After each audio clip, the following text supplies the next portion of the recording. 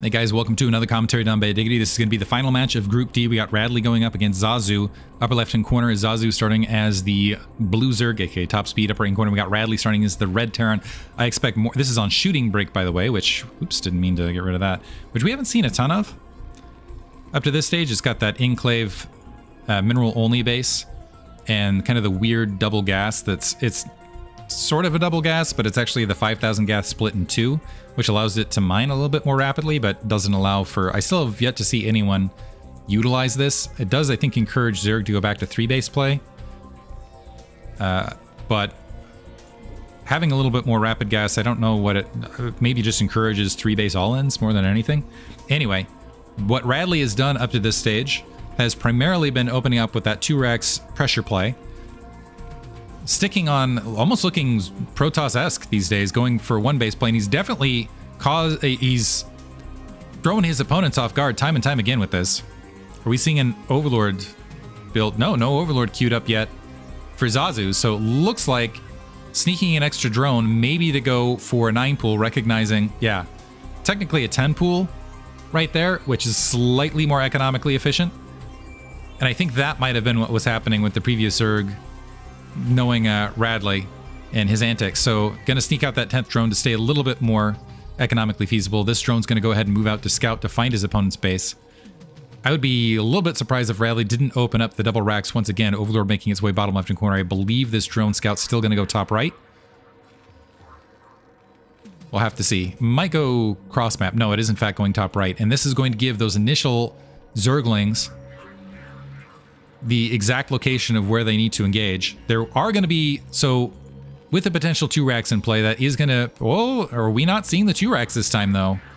Okay, no, we are seeing the, well, maybe, no, it looks like it was going to be one racks play this time, and now, because it's just a single racks, this could be bad for Radley, actually. Usually this is a massive punishment versus a 14 command center or some play like that. It's still defendable with early uh, barracks play and it comes down to micromanagement as far as how effective or ineffective it is in early stages. Zazu having trouble positioning, and it looks like Radley is beneficially going to end up with that first scout. Trying to still go back and, ooh, so two Zerglings actually pulling off to deal with that SCV, to get that that natural expansion hatchery. Nice play from Radley right there to go ahead and create that delay. First Marine is out. Did that Marine get seeing if there's a kill here. SCV's pulling off the line to go ahead and blockade that ramp. It is an inverted ramp, keep in mind, which makes it a little bit more frustrating. But the Marine looks like he is, in fact, well, I thought he was cozy. Now he's exposed to those two Zerglings, so dies. Bad micro there on Radley's part. Another Marine is out. Those SCVs are gone as well. And that might be the flub right there. Zazu might be able to take the game now. More SCVs pulling off the line. So keep in mind, this is still a big economic hit for Zerg to open up 9 pool like this but the, the Zerglings are in fact getting on top of the Marines, and this is a lot of SCVs off the line trying to engage these Zerglings. And it looks like more Marines getting picked off, more SCVs getting picked off in the opposite field, and the worker count just about even. I think that's with that, especially that hatchery coming online. Oh, this this drone was idle for quite a bit of time. That's going to end up being extremely beneficial for Zazu. Let's see if Radley responds to this with, uh, no, he's just going to drop a command center. So he is going to continue with the one racks into a command center build. We have gas behind this, but severe economic damage done to Radley here in the opener. Hatchery up. One thing is, is this Overlord does need to kind of skirt down not sure whether the Overlord path I could even take, actually, to get near the Marine positioning to kind of keep an eye on things. We have gas getting dropped so Radley wants to go for either, again, uh, shift mech play or 1-1-1 style play. SCV going to go out and scout, try to see the situation. A creep colony getting dropped. I don't even know. I'm trying to think a situation. I guess the creep colony, you spend a drone so you don't have to build four Zerglings, is I think the, the, the thought behind this. Uh, and that's going to be morphed immediately. That SCV is going to be able to get into the main without too much trouble and see that lair morphing. Preventative bunker up for Radley as well. Saving larva, but the worker count very, very close, which means Terran is potentially in Danger Town. No third hatchery behind the lines as of yet. We do see a pair of Zerglings being built, I presume to deal with this SCV. But all of this is looking like it's going to transition into two hatch Mutalisk. Spire's there. The SCV should be able to scout it. Drone might just opt to drop it, and we see a second extractor as well. Yeah, this is definitely, I think this is going to be all in Mutalisk from here. So SCV has to know, and that's got to be respected. And we're having a factory follow-up, which means, ooh, this could be a big challenge for Radley to defend. He's going to have to overproduce turrets. First of all, he needs to get that engineering bay down. Second of all, he needs to overproduce turrets to potentially defend against this. This could be uh, one problem with 111 on delay like this is you're ending up with Wraith, which are basically pa paper airplanes, and lessened because keep in mind when you're going that factor, when you're going that starport, that's resources that aren't Marines in the early game. SCV gets wiped out, does not detect the Spire. The single Zergling going to go ahead and meander forward. So we have the Academy behind this. We've got the Engineering Bay being plopped down. And that factory now is, yeah, I think this is lying fallow, effectively, because he's recognizes, okay, I actually do need to just skip the starport. Is he still going to go starport? Still going to drop starport. Let's see if this is to get... I presume this isn't to just go rapid science vessels, and it's still an attempt at a continuation of 111 minus the Vulture. But the barracks still is remaining silent, and that means, man, he's going to need a lot of... He's to need a lot of turrets, and we'll see how Zazu's able to abuse this in the early stages. Uh, and I do believe this is going to be just straight to mutal, uh, straight Mutalisk Flood with the second gas and no additional hatch. Well, actually, sorry, we got an additional hatchery bottom left. Missed that. Pocketing it in the bottom left-hand corner, but I believe at the very least this is going to be some version of Crazy Zerg in response, so it's just going to be pure Mutalisk and Creep Colony to try to defend. The Zergling camping out on the front to see if any Marines were in fact moving out. We do have initial turrets being constructed, but we got a slew of seven Mutalisks queued up on the way. No plus one weapons, however, which surprises me a bit with the additional gas. Comsat seeing the Mutalisk in route. This is a lot of territory to defend. You can see where this is a, a hard to defend back area. And again, not a lot of Marines and no Wraith. It looks like it's going to be straight movement to Science Facility to try to get that starport up. And honestly, I think that's a mistake from Radley. And I expect him if Zazu has decent Mutalisk Micro, I, I have a feeling he should be able to abuse the undersized Marine army, even with additional turrets out there, as soon as he has a sufficient Mutalisk count. I think he's just waiting for the 8 slash 9 to get in the overall position. Uh, the one beneficial aspect of this, of getting... Oh, we're seeing covert... What? Covert ops. Okay. Ghosts. Radley's starting to stunt now and go for some craziness trying to open up those Zerg eggs so I can go back and forth with this. I have never seen the ghost defense against Mutalisk. This will be a first. Covert Ops has been spotted.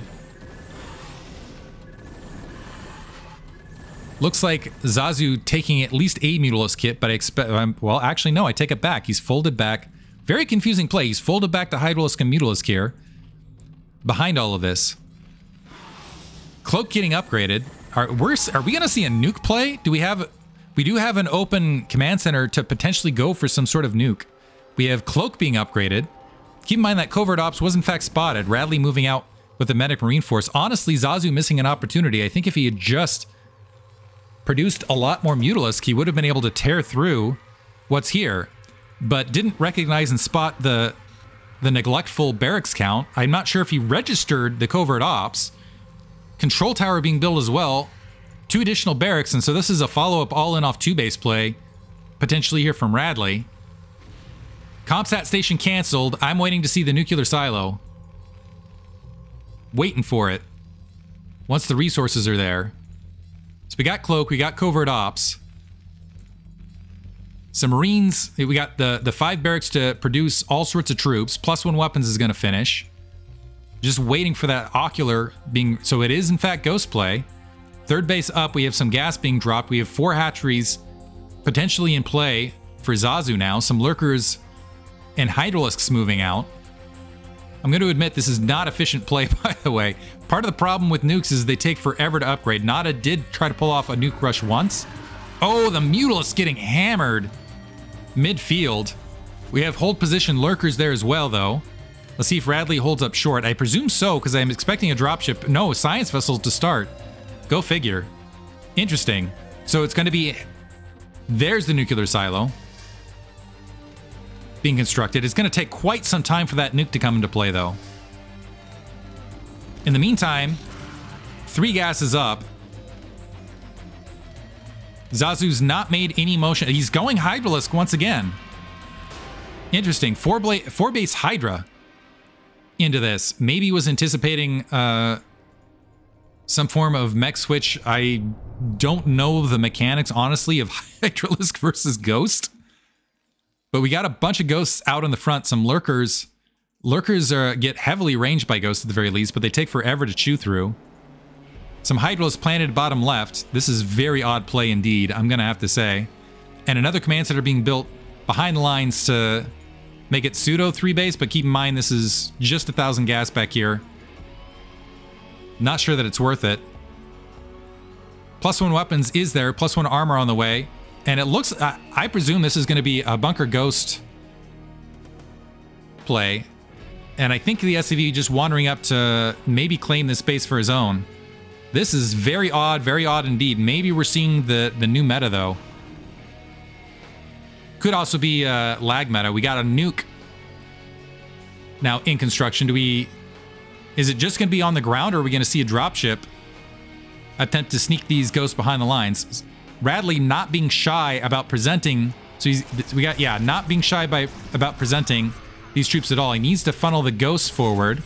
Ooh, needs to be careful with them though. And, Oh man, he's having trouble controlling this army though. Is taking some severe damage as a result. And I would, honestly, if I was Zazu at this stage, I would be scratching my head. Hell, I'm the commentator right here, and I'm scratching my head. Additional Sunken Colony getting dropped. Mech usually heavily does. I do believe these ghosts with the ocular impact plant can range the sun colonies, but they're just such fragile units that usually it's just not sufficient. Radley up 10 supply, however. And he's missing this counterattack from the rear. We are seeing a nuke, a defensive nuke at the natural expansion. This HasuLeague has everything. Let's see if it lands. There's no Overlord in position. And unfortunately, the ghost dies. So, and when the ghost dies, you lose that nuke. So a huge swing at events, that natural expansion with the forced liftoff, a huge crushing blow for Radley. He's going to press forward. Trying to, to punch into that sunken line with the ghosts. But his way, way behind in this match. The Ghost strategy was a massive risk to begin with, I have to say, particularly in a final stage like this. He is able to pick off some Hydralisks on the corner. Overlord's grouping up briefly. A medic taking some damage. Another Marine going vacantly out. Zazu should have this. Looks like we do have a dropship being built. Do we have another nuke? No, no other nuke in play, however. Also no ComSat, keep in mind, which is going to make dealing with this all the more difficult. Radley, rather than pressing the front, is going to draw his ghosts back.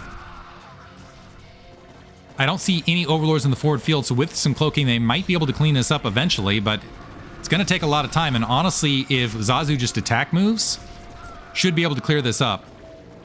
So now the cloak forward. Ooh, couple ghosts not quite there. Yeah, now working on those forward lurkers to try to save this, but it looks like some lurkers have managed to climb into that back edge. Radley should GG at this stage, honestly, but kind of showboating a little bit, clearing out the lurkers at the natural expansion with the ghost. There are no overlords here. Overlords and lurkers and hydralisks now sweeping out. But again, uh, Medic Marines do pretty well against this, especially without focus fire. But Radley's still going to GG. It looks like Zazu going to advance to the round of eight. Fun games from Radley regardless. Hope you guys enjoyed it. Thanks for listening.